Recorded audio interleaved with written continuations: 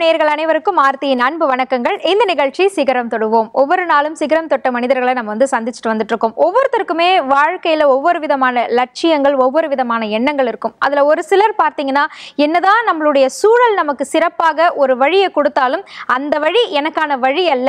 என் மனசுலையும் என் கற்பனையிலையும் என்னுடைய எண்ணத்திலும் ஒரு வழி இருக்கின்றது ஒரு இலக்கு இருக்கின்றது. அதை அடையணும் அப்படிங்கிறது தான் என்னுடைய லட்சியமா இருக்கு அப்படின்னு தனக்கென்று ஒரு பாதையை வந்து தேர்வு செஞ்சு போகக்கூடிய நபர்கள் தான் இந்த உலகத்தில் நிறைய பேர் இருக்காங்க. அவங்களுக்கு வரக்கூடிய தடைகள் தான் ஏராளமாக இருக்கு. ஏன்னா சுத்தி கை கொடுக்க நாங்க இருக்கோம். ஏன் நாங்க சொல்லக்கூடிய வழியில நீங்க வரல அப்படின்னா இல்ல. எனக்கான ஒரு வழி என் கண்ணுக்கு தெரியுது. அதை நோக்கி நான் போயிட்டு இருக்கேன் அதுல என்ன தடைகள் வந்தாலும் அதை தாண்டி போறதுக்கான தைரியம் எனக்கு போகக்கூடிய வழியிலே கிடைக்கும். அப்படின்னு போய் வெற்றி பெற்ற ஒரு மனிதரை தான் இன்னைக்கு நம்ம வந்து சந்திக்க போறோம். ஆர்க் மேட்ரிக்ஸ் இந்த நிறுவனத்தினுடைய உரிமையாளர் திரு ஜாஃபர் சாதிக் அவர்கள் நமக்காக காத்துட்டு இருக்காங்க. வாங்க அவங்களுடைய வாழ்க்கை பயணம் என்ன அப்படின்றத கேட்டு தெரிஞ்சுக்கலாம். வணக்கம் சார்.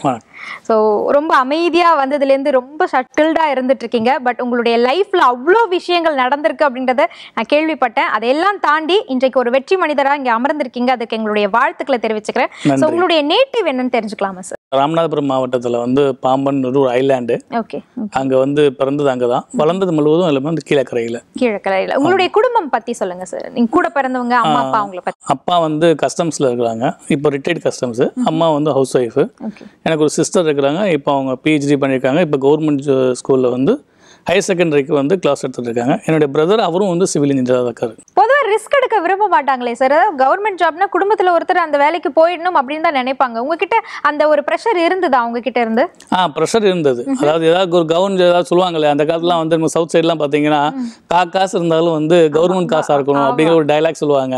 அதனால கவர்மெண்ட் ஜாப் இருந்தால் தான் பெஸ்ட்டு அப்படிங்கிற ஒரு கான்செப்ட் இருந்தது. இப்போ நான் வளர்ந்தது ஃபுல்லாக கீழக்கரை அப்படிங்கறனால வந்து அங்கே எல்லாருமே வந்து ஃபாரினில் இருப்பாங்க. ஓகே. ஸோ ஃபாரினில் போயிட்டு ஏர்ன் பண்ணிக்கலாம் அப்படிங்கிறது அப்படிங்கறனால ஸோ இந்த ரெண்டு விஷயமே எனக்கு வந்து பிடிக்கல. ஆக்சுவலா இந்த முடிவு நீங்க எடுக்கிறீங்க. படிப்புன்ற ஒரு முடிவு இந்த தான் நீ எடுக்கணும் இந்த கோர்ஸ் தான் நீ எடுக்கணுன்ற மாதிரி இருந்ததா? இல்ல அதுலயும் நீங்க தான் முடிவெடுத்து ம், படிச்சீங்களா? அதுல வந்து ஒரு கட்டாயம் கிடையாது. எனக்கு வந்து அது வந்து எனக்கு வந்து கட்டாயப்படுத்தல. நான் ப்ளஸ் டூ முடிச்ச சமயத்துல வந்து ஒரு கம்பெனில வந்து இடையிலப்பட்ட லீவ்ல வந்து ஒரு கம்பெனிக்கு வேலைக்கு போனேன். அந்த கம்பெனி தான் கன்ஸ்ட்ரக்ஷன் கம்பெனி. அவர் தான் என்னோட குரு. குரு. ஸோ என்னோட லைஃபோட டேர்னிங் பாயிண்ட்ல ரெண்டு பேர். இது அதுல வந்து ஃபர்ஸ்ட் ஆள் வருது ஓகே. அப்போ அங்க போகும்போது எனக்கு வந்து பொதுவாகவே ஆர்ட் வரும். என்னோட வந்து என்னுடைய ப்ராக்டிக்கல் நோட்லாம் வந்து ரொம்ப நீட் அண்ட் க்ளீனாக இருக்கும். அந்த ஆர்ட் வரும். ஸோ அதை வச்சுட்டு அந்த டைமில் பார்த்தீங்கன்னா அதாவது ரெண்டு நைட் நைன்டி டூ நைன்டி த்ரீ அந்த அந்த டைமில் பார்த்தீங்கன்னா ஆர்கிடெக்ட் வந்து கையில் தான் டிசைன் பண்ணுவாங்க. அன்னைக்கு வந்து கம்ப்யூட்டர் கிடையாது. ஸோ அந்த டிசைன்லாம் நான் உட்காந்து சேஞ்ச் பண்ணிட்டு இருந்தேன். அவங்ககிட்ட போய் நான் வந்து சும்மா ஒரு கேஷியராகவோ ஒரு ஆஃபீஸ் பாய் மாதிரி வேலைக்கு போயிருந்தேன். போனப்போ வந்து அந்த டிசைனை பூரா நான் சேஞ்ச் பண்ணோன்னா அந்த இன்ஜினியருக்கு வந்து நம்முடைய குருக்கு வந்து பிடிச்சிருச்சு. அப்போ அவர் தான் எனக்கு சஜஸ்ட் பண்றாரு. நீ வந்து சிவில் இன்ஜினியர் எடு ம். அப்போ எனக்கு அந்த கன்ஸ்ட்ரக்ஷன் ஃபீல்டுக்குள்ளேயே எனக்கு போகிறேன் அப்போ அதில் கொஞ்சம் இன்ட்ரெஸ்ட் ஆயிருது ஓகே சோ அவர்கிட்ட இருந்து இன்ஸ்பயர் ஆகி நீங்க வந்திருக்கீங்க. பட் உங்களுக்குள்ளே இன்பில்ட்டா ஒரு திறமையும் இருந்திருக்கு. அதுக்கு முன்னாடி பார்த்தீங்கன்னா லெவன்த் ஸ்டாண்டர்ட் படிக்கும்போது ஒரு பக்கத்தில் சதக் இன்ஜினியரிங் காலேஜ்னு இருந்தது. அவங்க ஒரு ஒரு ஃபங்க்ஷன் பண்ணுறாங்க அதில் நான் பார்ட்டிசிபேட் பண்ணுறேன் என்னன்னு சொன்னால் ஒரு ஹோமை நானே வந்து அட்டையில் செஞ்சு அதில் வந்து ஃபயர் அலாரம் ஃபிட் பண்ணி அந்த இதில் போய் பார்ட்டிசிபேட் பண்ணுறேன் சிறு வயதுல இருந்து நம்ம மனசுல தோன்றக்கூடிய அந்த சிறு விதை தான் விருட்சமா ஆகும்ன்றதுக்கு மிகப்பெரிய உதாரணம் நீங்க. பட் வீட்ல இவ்வளவு தடைகள் வீட்ல இவ்வளவு அப்போஸ் இருக்கு அப்படின்னும் பொழுது எப்படி உங்களை என்ன? இருந்தாலும் ஒரு விஷயத்தை நம்ம வந்து முயற்சி பண்ணி எடுத்தோம்னா சாதிச்சிடலாம் அப்படிங்கிற ஒரு வைராக்கியம் இருந்தது. எல் எந்த ஒரு விஷயம் எடுத்தாலும் சரி நான் வந்து volleyball player hockey and cricket player okay எந்த ஒரு கேம் விளையாட போனாலும் சரி அதுவுமே நம்ம வந்து இதில் வின் பண்ணி ஆகணும் அப்படிங்கிற ஒரு முயற்சி எப்பவுமே இருந்துகிட்டு இருக்கும் அது. ஸோ அந்த கான்ஃபிடென்ட் அந்த கான்ஃபிடென்ட் லெவல் வந்து எப்பவுமே ஜாஸ்தி. இப்போ வரைக்குமே சரி அது எதுவுமே குறையல. ஸோ அது வந்ததுனால நம்ம எப்படியாவது நம்ம லைஃப்ல முன்னேறிடலாம் அப்படிங்கிற ஒரு கான்ஃபிடென்ட் வந்து என்ன முடிச்சிருக்கீங்க சார் படிச்சு. ஃபர்ஸ்ட் வந்து டிப்ளமோ சிவில் படித்தேன் அதுக்கப்புறம் பிடெக் கம்பெனி பிடெக் படிச்சீங்க. சோ சிவில் இன்ஜினியரிங் டிப்ளமால முடிச்சுட்டு பிடெக் முடிச்சுட்டு பிடெக் கூட நான் கம்ப்ளீட்டும் பண்ணல. கம்ப்ளீட் பண்ணல. கம்ப்ளீட் பண்ணல. ஏன் சார் கம்ப்ளீட் பண்ணுறதுக்கான வாய்ப்பு ஒரு ஒரு கடத்தில் வந்து பிஸ்னஸோடைய இது வந்தபோது நம்மளால கம்ப்ளீட் பண்ண முடியல. சரி இப்ப வாய்ப்புகளை வந்து நம்ம உள்ளூர்ல தேடணுமா? இல்ல நீங்க வெளியூர் நோக்கி வந்தீங்களா? ஸோ நான் இப்போ வந்து எனக்கு அந்த இடத்துல வந்து என்னோட ஏஜ் வந்து அப்போ ஒரு எயிட்டீன் நைன்டீன் இருந்தது. நைன்டீன் இருக்கும்போது நான் வந்து சென்னை போயிடலாம் நம்ம. படிப்புக்கேத்த வேலை ஏதாவது தேடுனீங்களா? இல்ல இல்ல இல்ல. வந்தேன் அவர்கிட்ட ஃப்ரெண்டு சொன்னேன். பா நான் நீ வா ஒரு வேலைக்கு அவருக்கு என்ன வேலைக்கு கூட்டு போறான்னு எனக்கு தெரியாது. போன உடனே நம்ம பாண்டி பஜார்ல இதை விரிச்சு அதில் வந்து லேடிஸோட கிளிப்ஸ் எல்லாம் போட்டு மூணு பத்து நாலு பத்துன்னு சொல்லுவோம் இல்லையா? அதான் அதோடைய இது அதுவும் நான் வந்த டைம் வந்து சென்னை வந்து ஏப்ரல் மே மாதம் வந்தேன். மே மிடில் வந்தேன். நான் போன அவருடைய ரூம் நான் ரூமு வீடு நம்ம நம்ம வீடு மாதிரி நினைப்போம் அதை. ஆமா ஆமா. ஆனா இங்க வந்து பாத்தீங்கன்னா அஞ்சாவது ஃப்ளோர்ல வீடு. அதுவும் வந்து ஹைட் ரூஃபோட ஹைட் வந்து செவன் ஃபீட் தான் இருந்தது. சிமெண்ட் சீட் ரூஃப் ஸோ தூங்க முடியாது. அவ்வளோ சூடு. கீழே நீங்க குளிக்கிறதா இருந்தாலும் பாத்ரூம் போறதா இருந்தாலும் கீழே இருந்து தண்ணி தூக்கிட்டு வந்து அஞ்சாவது ஃப்ளோர் வந்து தான் செய்யணும் அந்த ஒரு மாசம் வந்து ரொம்ப கஷ்டம். அதாவது நம்ம திருப்பி வீட்டுக்கே போயிடலாம் அவங்க என்ன சொல்றாங்களோ நம்ம அதை கேட்டுருவோம் அப்படிங்கிற ஒரு நம்பிக்கை வந்து மனசுல தோணிடுச்சு அந்த டைம் தான் இன்னொரு நான் கன்ஸ்ட்ரக்ஷன் கம்பெனியில் வேலை பார்க்கும்போது அங்கே ஒரு நண்பர் பழக்கமானார். அவங்க இங்கே ஜுவல்லரி வச்சிருந்தாங்க டி நகரில். அவரை வழியில் சந்திக்கக்கூடிய வாய்ப்பு கிடைச்சது. அப்போ அவர் நான் சொன்னது மாதிரி ரொம்ப கஷ்டமா இருக்குன்னு சொல்லும்போது நீ உடனே வான்னு சொல்லிட்டு கூட்டு போயிட்டார். கூட்டு போயிட்டு டே ஒன்லேயே எனக்கு வந்து அங்கே ஜாப் கொடுத்துட்டார். என்ன வேலை கிடைச்சது சார் கிறிஸ்டல் ஜுவல்லரியில் வந்து மேனேஜர் ஒரு ஜுவல்லரியில் கிட்டத்தட்ட அரௌண்ட் அங்கே வந்து ஒரு ஒன் ஒரு கோடி ரூபாய் சரக்கு இருக்குது. அது ஃபுல்லாக நான் தான் பார்த்துக்கிறோம் நான் சொன்னேன் எனக்கு அனுபவம் இல்லை அப்படின்னு. நீ இரு ஒன்று கூட நான் பழகிருக்கிறேன். நீங்க இரு நான் வந்து எல்லாம் சொல்லி கொடுத்துறோம் ஒரு மாசம் நீ கத்துக்குவ. நம்பிக்கையான ஆள் கிடைக்கிறது கஷ்டம்ன்றது அவர் தெரிஞ்சிருந்தாரு அப்படின்ட்டு அதுல வந்து ஜாயின் பண்ணிட்டோம். ஸோ என்ன என்ன இருந்தாலும் இந்த கன்ஸ்ட்ரக்ஷன் ஃபீல்ட நம்ம வந்து விட்டுருக்கோமே அப்படிங்கிற ஒரு மைண்ட் எனக்கு ஒரே ஒரு கேள்வி சார் ரெண்டு நாள் அவரை தாமதிச்சு நீங்க சந்திக்கிற மாதிரி ஆயிருந்ததுன்னா இந்நேரம் ஊருக்கு போயிருப்பீங்களோ? மேபி இருக்கலாம். இருந்திருக்கலாம். நல்ல வேலை. ஆமா அதாவது இது எல்லாமே காட் வந்து நம்ம ஸ்டார்டிங்ல இருந்தே வந்து இந்த தொழிலுக்குன்னு சொல்லி நம்ம என்னை வந்து இது பண்ணிட்டாரு. எப்படி கன்ஸ்ட்ரக்ஷனுக்குள்ள திருப்பி நீங்க நுழைஞ்சு திருப்பி இது வந்து ஒரு ஃபோர் இயர்ஸ் இப்படி ட்ராவல் ஆயிடுச்சு. டுவெல்னா நைன்டி நைனில் மேரேஜ் ஆகுது. அப்போ நம்ம வந்து ஜுவல்லரி ஒன்றும் நம்ம வைக்க முடியாது. இப்போ இன்னைக்கு இன்னைக்கு இருக்க பொசிஷனில் அதனால நம்ம வந்து இன்னொரு வேலை நம்ம இதில் வந்து என்ன எக்ஸ்பீரியன்ஸ் ஆனாலும் பெரிய ஏர்னிங் கிடைக்காது அப்படிங்காக வந்து திருப்பூர்ல இருந்து ஒரு ஃபேமிலி ஃப்ரெண்ட் இருந்தாங்க. அங்கே வந்து என்னன்னா இங்கே வந்து ஒரு ஸ்டேஷ்னரி ஷாப்புடைய ஒரு டிஸ்ட்ரிபியூட்டர் எடுத்துட்டு நம்ம கோயம்புத்தூர் சேலம் இதெல்லாம் சப்ளை பண்ணலாம் அப்படின்னு சொல்லிட்டு அங்கே போய் மார்க்கெட் அனலைஸ் பண்ணுறதுக்காக போயிருந்தேன். போனப்போ அந்த ஃபேமிலி ஃப்ரெண்ட் சொன்னார் என்னோட கம்பெனியே இருக்குது. ஒரு ஃபோட்டோ ப்ராசஸ் கெமிக்கல் பண்ண அந்த ப்ராசஸ் பண்ணக்கூடிய இது உங்களுக்கு டிஜிட்டல் பிரிண்டிங் அன்னைக்கு பார்த்தீங்கன்னா கெமிக்கல் வச்சு தான் ப்ராசஸ் பண்ணுவாங்க. அந்த கெமிக்கல் கம்பெனி இருந்தது. ஸோ அங்கே இது வந்து நீங்கள் பார்த்துட்டு டெவலப் பண்ணுங்க அப்படின்னா ஒரு சின்ன என்ன நான் ஜுவல்லரியில் இருந்தேன் பார்த்தீங்க இல்லையா அவங்க ஒரு சின்ன அமௌண்ட் கொடுத்தாங்க எனக்கு. ஒரு two lakh sixty thousand rupees கொடுத்தாங்க அந்த டைம் சரி கொடுத்து இன்வெஸ்ட் பண்ணி ப்ராஃபிட் வரும்போது நம்ம ரெண்டு பேரும் எடுத்துக்கலாம் அப்படின்னு சொல்லியிருந்தாங்க. ஸோ அந்த கம்பெனியில் போய் நான் இன்வெஸ்ட் பண்ணேன். இன்வெஸ்ட் பண்ணி ஒரு சிக்ஸ் செவன் மந்த்ஸ் இருந்தால் அதுல இருந்து என்னோட ரிட்டர்ன்ஸ் பார்த்தீங்கன்னா ஒரு த்ரீ தௌசண்ட் ஃபைவ் ஹண்ட்ரட் தான் வந்தது நமக்கு அங்கே டோட்டல் சேலரி அதில் ப்ராஃபிட் எல்லாமே சேர்த்து. ஸோ த்ரீ தௌசண்ட் ஃபைவ் ஹண்ட்ரட்ல நான் இருக்கிற வீடு வந்து பார்த்தீங்கன்னா ரிப்பீட் நான் மறுபடியும் இப்போ பேக் டு பெவிலியன்ங்கிற மாதிரி ஒரு ஹாலோ பிளாக் வீடு மேலே டைல் ரூஃபு அந்த வீட்டுக்கு வந்துட்டோம். இதுக்கு இடையில நம்ம திருப்பூர் பார்த்தீங்கன்னா இந்த பெனியன் டிஷர்ட் இதுக்கெல்லாம் வந்து ஃபேமஸான ஏரியா அது. ஸோ அங்கேருந்து கொஞ்சம் பர்ச்சேஸ் பண்ணிட்டு நம்ம ஒய்ஃபோட ஊர் குன்னூர் அப்படிங்கிறதுனால அங்கே போய் கொஞ்சம் இதெல்லாம் சேல்ஸ் பண்ணேன். சேல்ஸ் பண்ணி இந்த அமௌண்ட்ல வந்து ஒரு டூ வீலர் வாங்கிட்டு அந்த டூ வீலர் மூலமாவும் நான் வந்து ஒவ்வொரு ஏரியாவில் கொண்டு போய் சேல்ஸ் பண்ணிட்டு இருந்தேன் ஊட்டி குன்னூர்ல எல்லாமே. இதுல கொஞ்சம் அமௌண்ட் எனக்கு வந்தது. அதை வச்சு இன்னொரு நண்பரோட சேர்ந்து ஒரு ரியல் எஸ்டேட் ஒன்று சின்ன லேண்ட் ஒரு forty five thousand per acre அப்படிங்கிற மாதிரி வாங்கி அதை ரியல் எஸ்டேட் மந்த்லி வந்து ஃபைவ் ஹண்ட்ரட் ருபீஸ் அப்படிங்கிற மாதிரி பண்ணி கொஞ்சம் கொஞ்சமாக டெவலப் பண்ணிட்டு இருந்தோம். அப்போ அந்த நண்பர் நானும் பார்ட்னர் ஆகிறோம். அந்த ஃபோட்டோ இங்ஸ் கம்பெனிலேருந்து வெளியே வந்துடுறேன். இடையிலேயே. வெளியே வந்துட்டு கன்ஸ்ட்ரக்ஷன் ஸ்டார்ட் பண்ணலாம்னு சொல்லிட்டு டூ தௌசண்ட் ஒன் ஜனவரி சிக்ஸ்டீன் இந்த பாயிண்ட் வந்து ரொம்ப அந்த- அந்த டேட் வந்து ரொம்ப இம்பார்ட்டன்டான டேட் கண்டிப்பா. கண்டிப்பா அன்னைக்கு வந்து கிரசன் கன்ஸ்ட்ரக்ஷன் ரியல் எஸ்டேட் அப்படின்னு சொல்லிட்டு ஒரு நண்பரோட சேர்ந்து நான் அந்த கம்பெனி ஸ்டார்ட் பண்றோம். ஒரு மார்னிங் சிக்ஸ் தேர்ட்டிக்கு அதாவது ப்ரேயர் முடிச்சுட்டு சிக்ஸ் தேர்ட்டி ஸ்டார்ட் ஸ்டார்ட் பண்றோம். செவன் தேர்ட்டிக்கு அங்க லேண்ட்லைன் இருந்தது. நான் வாடகைக்கு இருந்த வீட்டில். இதுக்கிடையிலே பழைய வீட்ல இருந்து வேற ஒரு வீடு மாறிட்டேன். ஒரு வில்லேஜுக்கு போயிட்டேன். ஏன்னா வில்லேஜ்ல கம்மியான வாடகைக்கு பெரிய வீடு கிடைக்கும். கிடைக்கும். கரெக்ட் அப்படிங்கிறதுக்காக போயிட்டு அந்த வீட்டில் மட்டும் அந்த ஊர்லயே அந்த வீட்டில் மட்டும் ஒரு லேண்ட்லைன் ஃபோன் இருந்தது. ஸோ அதை தான் நாங்கள் எல்லாம் யூஸ் பண்ணிட்டு இருந்தோம். யூஸ் பண்ணிட்டு இருக்கும்போது அந்த லேண்ட்லைனுக்கு ஒரு ஃபோன் வருது. பக்கத்துல ஊத்துக்குளின்னு ஒரு ஊர் இருக்கு இன்னைக்கு ஃபேமஸ் அதாவது வெண்ணெயில ஃபேமஸ் ஊத்துக்குளி திருப்பூர்ல இருந்து ஒரு செவன்டீன் கிலோமீட்டர் அங்க உள்ள மசூதி கட்டுறதுக்கு அங்க கூப்பிட்டுருக்காங்க. கோயில் கட்டவே அட அட First அட project. அட அட. ஆ ஆ. ஸோ ஃபர்ஸ்ட் ப்ராஜெக்ட் இது வந்து என்னன்னா என்னோட ஊர்ல வந்து ஒரு என்னோட நண்பர் ஒருத்தர் இருக்காரு. அவர் ரெஃபர் பண்ணி இவங்க கூப்பிட்டுருக்காங்க. சரி நம்மளும் ஒரே ஹாப்பி ஆயிடுச்சு. பரவாயில்ல. கன்ஸ்ட்ரக்ஷன் வருதோ வரலையோ ஒருத்தவங்க நம்ம கால் கால் வச்ச உடனே ஒரு பாசிட்டிவ் வைப்ரேஷன் பாசிட்டிவ் வைப்ரேஷன் வந்த உடனே சரின்னு சொல்லிட்டு நாங்க ஈவினிங் போயிட்டோம். போன உடனே அவங்க வந்து என்னன்னா எங்களை டிசைட் பண்ணிட்டாங்க. நான் தான் வந்து இன்ஜினியர் சொல்லி. அப்ப என்னோட வயசு இருபத்தஞ்சு இருபத்தாறு வயசு. ஸோ மசூதி கட்டுறதா நமக்கு அவ்வளோ அனுபவம் இல்லையே. அப்புறம் இந்த ஃபீல்டு விட்டு வெளியே வந்த டைம் வேற. கம்மியான அனுபவம் இருக்குது. சரி இருந்தாலும் செய்வோம்னு சொல்லிட்டு என்னோட குருட்டெல்லாம் வந்து கொஞ்சம் கன்சல்ட் பண்ணிட்டு என்னோட ஃப்ரெண்ட்ஸ் இவங்கெல்லாம் வந்து கொஞ்சம் கன்சல்ட் பண்ணி அந்த ப்ராஜெக்ட் ஸ்டார்ட் பண்ணோம்.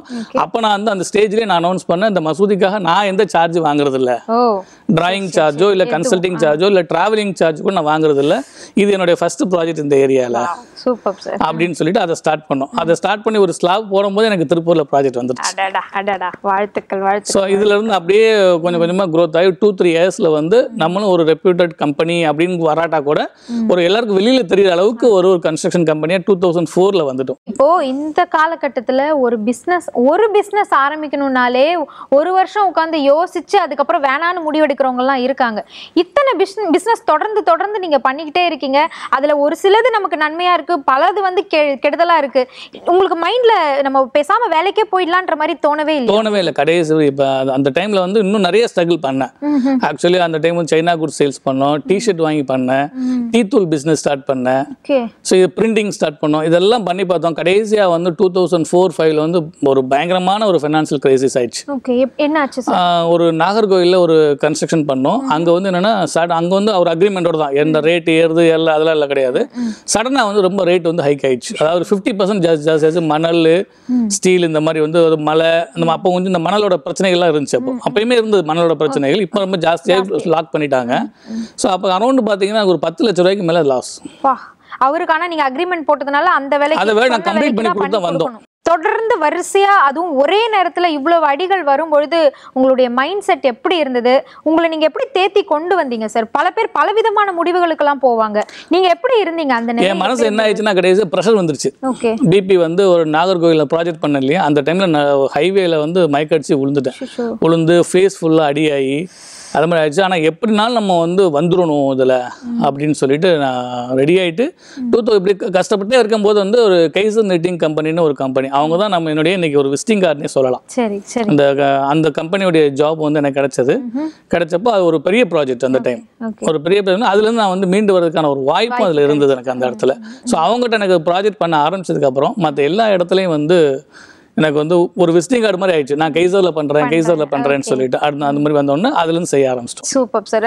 இங்கிருந்து இந்த ஆர்க் மேட்ரிக்ஸ் அப்படின்ற இந்த நிறுவனம் எப்படி உருவாச்சுன்றதுக்கு இப்போ வந்து பார்த்தீங்கன்னா ஃபர்ஸ்ட் வந்து கிரசன் கன்ஸ்ட்ரக்ஷன் ரியல் எஸ்டேட்னு வச்சிருந்தோம். நாங்கள் வந்து நானும் என்னுடைய நண்பரும் பார்ட்னர்ஷிப் பிரிக்கிறோம். அவர் ரியல் எஸ்டேட் போயிடுறாரு நான் கன்ஸ்ட்ரக்ஷன் அவர் ரியல் எஸ்டேட்ல எக்ஸ்பர்ட் நான் கன்ஸ்ட்ரக்ஷன் எக்ஸ்பர்ட் டூ தௌசண்ட் ஃபோரில் ஆர் ஃபைவ்லேயே வந்து ரொம்ப கஷ்டமான சூழலில் நான் சார் பரவாயில்ல நம்ம பிரிஞ்சிடலாம்.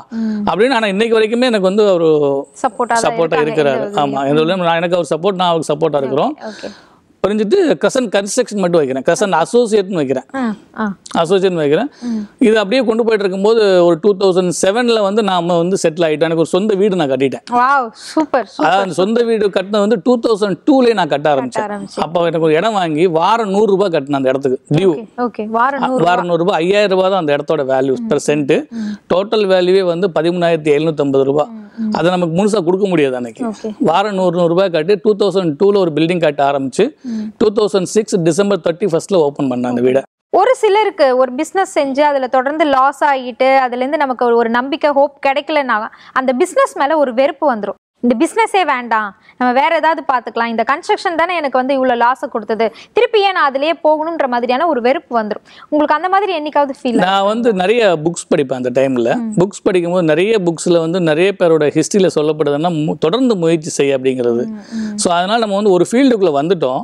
இது நம்ம என்ன பண்ணாலும் திருப்பி இன்னொரு புது ஃபீல்டு அதுலேயும் இந்த லாஸ் அண்ட் கெயின் ரெண்டுமே இருக்குது. அதே நம்ம லாஸ் ஆனால் நம்ம இன்னொரு ஃபீல்டுக்கு போகிறதா ஸோ இதே நம்ம கன்டினியூ பண்ணுவோம் அப்படிங்கிறது ஒன்று இன்னொரு இன்னொரு எனக்கு ரொம்ப ஸ்ட்ராங்காக பிடிச்ச விஷயம் வந்து என்னுடைய ப்ராடக்ட் வந்து மினிமம் ஒரு ஃபிஃப்டி இயர்ஸாக நம்ம பார்க்க முடியும். ஸோ இன்றைக்கும் பார்த்தீங்கன்னா நான் ட்ரெயினில் போகும்போது அந்த ஊத்துக்குழியில் பண்ண மசூதி அந்த டூம் வந்து இன்னைக்கு இருக்கும். சூப்பர் ஸோ அந்த என்ன டைம் பண்ணாலும் என்னுடைய ஆட்டோமேட்டிக் என்னோட முகம் வந்து ஜன்னல் வழியே பார்த்து இந்த இதை மசூதியை பார்க்க தோணும்.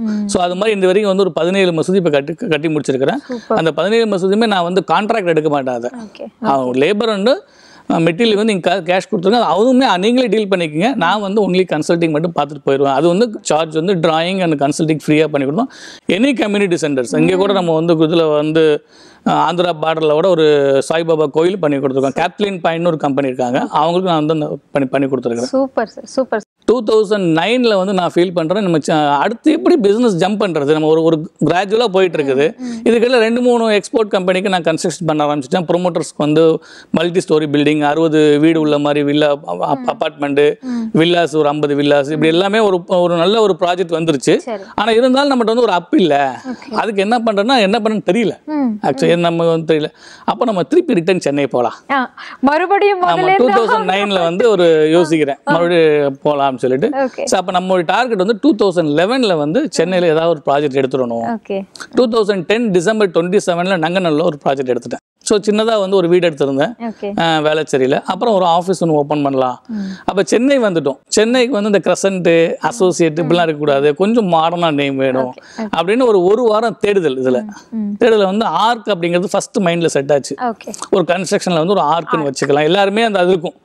ஆர்க்கு அப்படி அந்த மாதிரி இருக்கும் அப்படிங்கிறது வந்து இருக்குது. ஸோ அடுத்து ஜாயிண்டாக வந்து ஒரு வேர்டு வேணும் அப்படின்னு பார்த்தா மேட்ரிக்ஸ்னு தோணுச்சு. நான் வந்து நம்முடைய ஃப்ளேவர் இல்லை மேலே பஸ்ஸில் போகும்போது பார்த்தா ஒரு மேட்ரிக்ஸ் ஒரு கம்பெனியோட இருந்தது. அப்போ மேட்ரிக்ஸோட மீனிங் எனக்கு கரெக்டாக தெரியல. போய் டிஸ்னரில் பார்க்கும்போது ஒரு உருவாக்குதல் அப்படின்றது ஓகே நல்லா இருக்குது. Arc matrix engineers and interiors கீழே வந்து ஒரு சின்ன ஸ்லோகம் ஊர்ல கிரசன்ட்ன்ற நேம்ல இருந்தபோது அப்போ வந்து ஜாஃபர் வந்து எல்லாருக்குமே அங்க தெரியும். அங்க வந்து நல்ல பிரபலமும் ஆயிட்டீங்க. நிறைய ஆலயங்கள்லாம் கட்டி கொடுத்து மக்கள் மனசுல இடம் பிடிச்சிட்டீங்க. பட் சென்னை அப்படின்னு எடுத்துக்கிட்டா காம்படிஷன் அதிகமா இருக்கும். ஸோ இந்த ஆர்க் மேட்ரிக்ஸ் அப்படின்ற இந்த நேமை வந்து நிலைப்படுத்துறதுக்கு என்ன மாதிரியான முயற்சிகள் எடுத்தீங்க? எந்த ஒரு ப்ராஜெக்ட் உங்களை வந்து வேற லெவலுக்கு மாத்துச்சு சென்னையில? ஸோ இந்த ஆர்க் மேட்ரிக்ஸ் அப்படின்னு கொண்டு வர்றதுக்கு எனக்கு வந்து நிறைய இன்னைக்கு ஆர்கனைசேஷன் அதாவது ஒரு ரெட் ரோட்டரி கிளப்பாக இருக்கட்டும் இன்னைக்கு பிஸ்னஸ் நெட்வொர்க் இன்டர்நேஷனல் அப்படின்னு ஒரு பிஸ்னஸ் டீம் இருக்குது. ஸோ இதெல்லாம் வந்து எனக்கு கொஞ்சம் ஹெல்ப் ஆச்சு. இந்த மாதிரி வந்து வெளியில வந்து பிஸ்னஸ்க்கான ஒரு டீமு சோஷியல் நெட்வொர்க்கிங் இதெல்லாம் வந்து கொஞ்சம் கனெக்ஷன் ஏற்படுத்திக்கிட்டேன். யார் யாரெல்லாம் நமக்கு இங்கே தெரிஞ்சவங்க இருக்காங்க அவங்கள பூரா அப்ரோச் பண்ணுவோம்னு சொல்லிட்டு எல்லாத்தையுமே வந்து ரெகுலராக வந்து ஒரு one or two months approach பண்ணிட்டே இருந்தேன். ஓகே பண்ணிட்டு அப்புறம் இந்த கம்பெனியை ரெடி பண்ணிட்டு அப்புறம் இங்கே இன்னொரு பிராண்டிங் கம்பெனி ஒருத்தவங்க இருக்காங்க என்னோட நண்பர் அவர் இலியாஸ்னு சொல்லிட்டு அவர்கிட்ட வந்து இந்த இதுக்கு வந்து ஒரு நல்ல லோகோ ரெடி பண்ணி கொடுங்க. அப்படின்னு அவர் தான் இந்த லோகோ கிரியேட் பண்ணி கொடுத்தாரு. அதில் பார்த்தீங்கன்னா ஒரு ரெட் கலரில் ரவுண்ட் ஒன்று வரும். டாட் ஆமா ஆமா அது வந்து ஷார்ப் அப்படிங்கிறதுக்கு. இப்போ நீங்க வந்து கன்ஸ்ட்ரக்ஷனை பார்த்தீங்கன்னா எல்லாமே வந்து ஸ்ட்ரைட்டாக இருக்கணும். ஓகே அதை பேஸ் பண்ணி தான் அந்த இது கொடுத்துருக்கோம் அந்த இது. Super sir okay okay so இது வந்து இப்போ இங்கே பார்த்தீங்கன்னா பொஷவாக்கத்தை ஒரு அஞ்சு ஃப்ளோர் பில்டிங் பண்ணோம். கம்ப்ளீட்டாக வந்து இன்டீரியர் இன்க்ளூடிங் இன்டீரியர் இன்டீரியர் முதல் கொண்டு. இன்டீரியர் முதற்கொண்டு டி நகர்ல எஸ்கேசி கீ கேள்விப்பட்டிருப்பீங்க. நீங்க ஃபேமஸான கீ அது. அவங்களோட கார்ப்பரேட் ஆஃபீஸ் கம்ப்ளீட்டாக இன்டீரியர் பண்ணோம்.